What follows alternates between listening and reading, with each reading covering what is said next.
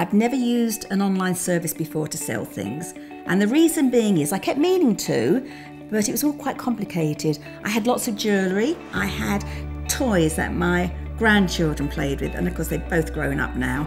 I go on Facebook and I kept seeing this advert popping up, Vintage Cash Cow, and I was quite intrigued as I knew I had a lot of stuff to sell, but I was also sceptical and worried about scams.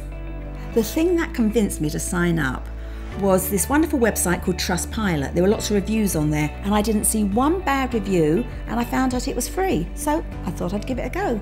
I was absolutely thrilled with the offer. The thing is, I've got a daughter in Australia, and I want to go and visit her. Now, Vintage Cash Cow gave me £400 for things that were just lying around, and that's going to help towards my ticket. The best thing about using Vintage Cash Cow is the customer service.